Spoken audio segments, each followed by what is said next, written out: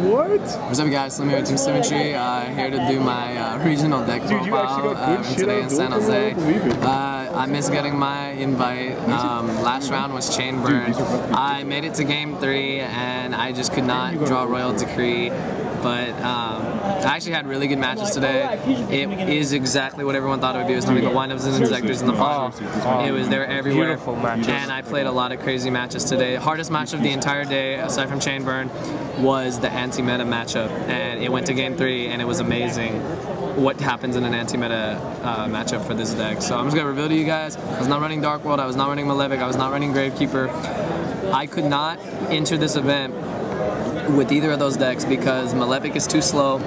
Gravekeeper I had not practiced with in a very long time, and Dark World just not did not draw it consistent enough. So I'll tell you guys, I did run Rabbit, and um, I am going to run Rabbit for the probably the rest of this new format because this format sucks. And have Uh, fun we're gonna matches with me. We're gonna have a, we're gonna have a ban list uh, discussion coming up, but we're just gonna start with the basics. You know, you got to run three Rabbit. It's broken. It, it's really good. Like I, you know, you max C, it's like all right.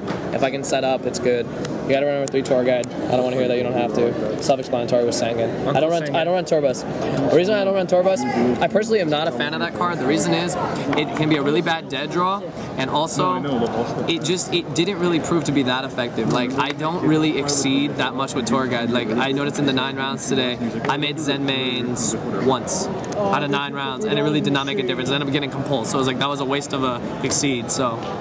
I don't run tour bus. I might change it. I'll test with it, but I probably won't. Uh, MVP of the deck, not gonna lie, Jared Guiba. Um, this card won me most of my games because if I didn't open with Rabbit, I had this, and I had, you know, I was playing against, when I played against Inzektors, I had this to run over their, um, you know, their uh, Dragonfly, and I was smart. I didn't set back row because I knew, you know, you're just gonna pop it, and I'm gonna take damage, like whatever. So I just used these. This was definitely the MVP of the deck. It won almost all my matches, um, aside from the Rabbit. It's just really good, and I will probably never run the deck without it. So then you got to run. Uh, we got red guy number one and red guy number two. I got to say these are bunnies. These are bunnies. Yeah. So bunnies and dinos, you know, you know, they're what make your Laggy and Dolkka, obviously. Uh, then for hand traps, I didn't max out. I just did what I thought was the most efficient. Maxi and Veiler. Personally, I like Effect Veiler a lot better. I did drop this card a couple times. It only plus me maybe once or twice. I mean, that's still a plus, but it's not as effective as I thought it would be. I did not play against Windup, and I was ready for them. And I mean, you know, next event probably it'll happen, but two and two is good in my opinion. You know, some people do it differently, but you know, like uh, a lot of channels say, you know, whatever you have access to, so they work. The last card was a Gorz. Um, I dropped it a couple times and uh, it, it did okay. Um, I played against Dark World and he reborn this because I discarded it with dealings and I got over it because he had discarded his um, Silva and um, I chained Shadow Imprisoning Mirror so it wouldn't come out. So then he reborn this, you know, he attacked over, I think it was one of my red guys, and then I reborned um, the Silva attacked into the thing and lanced it. So uh, it was good. Um, but it's good in general, you know, it's, it's just a really good summon. Spells are pretty self-explanatory, you know, back row removal, they're really good. Uh, the way this card was really helpful for me is playing against um, Dark World again.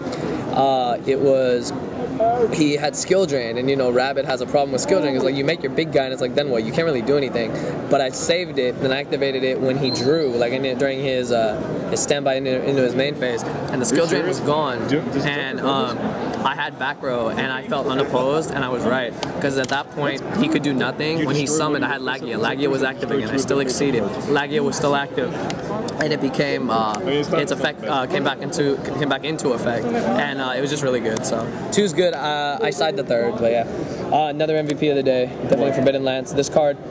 In the anti-meta match, which was the hardest match I had all day, um, this card won it for me because I was able to lance, you know, hit the Thunder King, hit the other things that could really cause me problems. Uh, you have to run this card; it's really good. Uh, Smash put in work, obviously, you know, get over those big monsters. I played against heroes, get over the big monsters. Uh, it was really good, and I had it with D5, so it was really good. Uh, Staples, yeah, they're you, you have to run them. They're all good. They're all really good. Um, probably favorite of the day were these two.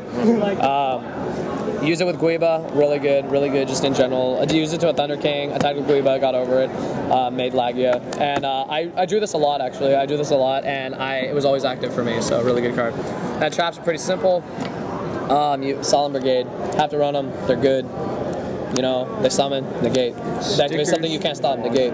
Um, another MVP, Two Fiendish. Oh, This card um, is like a trap effect veiler. It's just really good. Uh, it's not even so much that it can negate the effect; it's like it can stop him from attacking. It's like if I if I'm in trouble with a dino and they're about to get over it or something, this in work because it could stop them. I could summon another dino, go to Laggia. Laggia would they didn't have anything to stop Laggia. Attack over them and I feel safe. So Dude, really good card. Uh, worth its weight in gold. and then are so fucking hard to uh, staple is good. Uh, one comp. This did really good. Uh, I hit a Zenmaines with it. I hit. Um, what else did I hit? Uh, I hit a shining with it, so it was pretty good.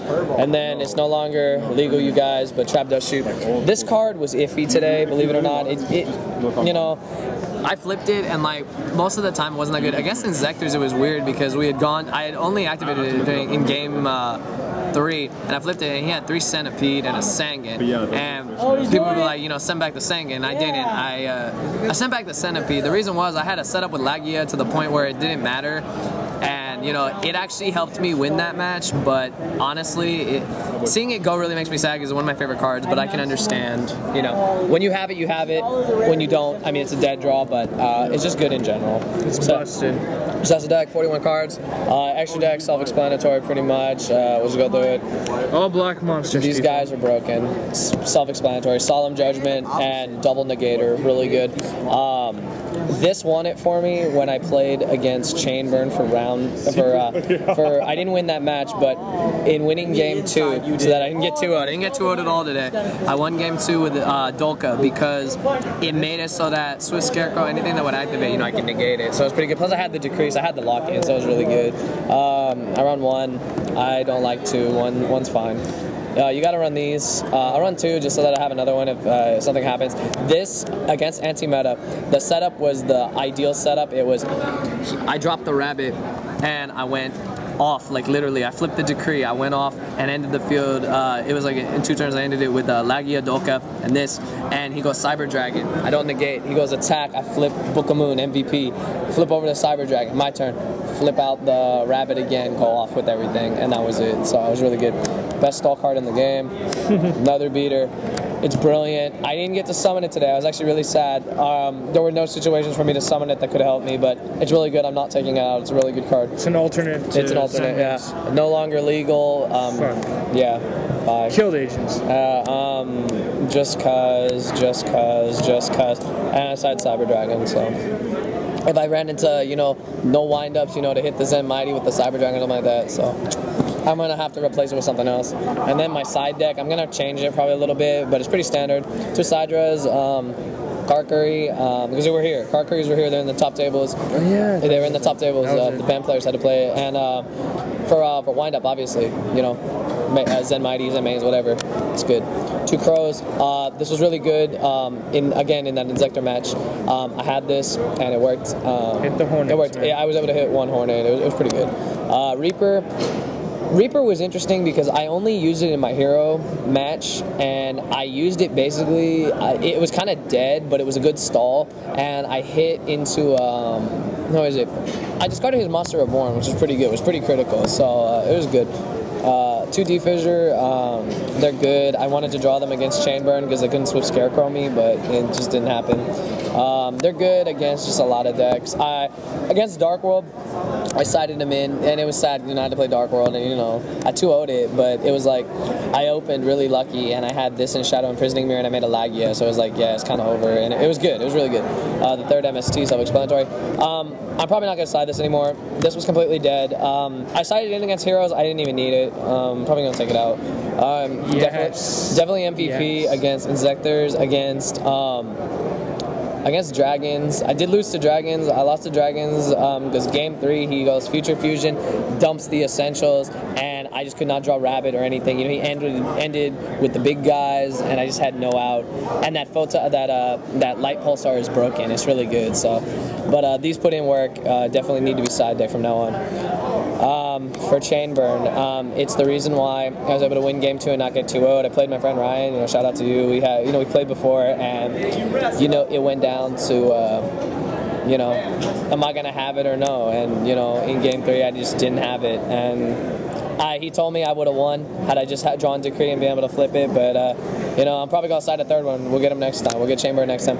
One chain disappearance for uh, tour guides for dragonflies and Zectors and period. Uh, it was good. It was good. And uh, one bottomless just for random stuff. I actually used it a lot, a lot more than I thought. So yeah, so that's what you guys. That's the Rescue Rabbit deck. I hope a lot of people don't get mad that I decided to run Rabbit. You know, we are in a very stupid meta right now, I'll be honest with oh you. Oh my god, People want to know, stupid. people ask me, what are my thoughts of the ban list? I'm going to give you two exact reasons what I think of the ban list. There's both of them. That's what I think about the ban list. It's bullshit, it solves no problems. But I can understand to a point of where they had, they, to, where they had to hit things the way they did because the meta is different out there. I just wish that maybe this time they could have put into consideration what the meta is out here. But, you know, what are you going to do? Um, I did get a lot of good footage today. Um, I just wanted to upload this. I'll upload this deck profile probably first just for you guys. Um, I did go X3. You know, chain burn is just a hard loss, you know. If I ripped the decree, I would have probably gone next two and gotten, you know, my invite, but you know, we're just gonna get him next time. I mean, that's my attitude, you know, I'm not a super competitive player. People tell me to become a lot more competitive. We'll see what happens. You know, the first foremost is the channel. So so I gotta say you guys, you know, you know, thumbs up this video, you know, shout out to the Nemo on the record, there you go. And uh, that's it you guys. So thumbs us up, you guys got any questions, you know, you know what to do. PM me, hit me on Skype, hit me in class. Like hit me while I'm in class. Everyone knows I'm bored shit. Yeah, so that's all I gotta say you guys. I'm here Team Symmetry. Thank you for watching.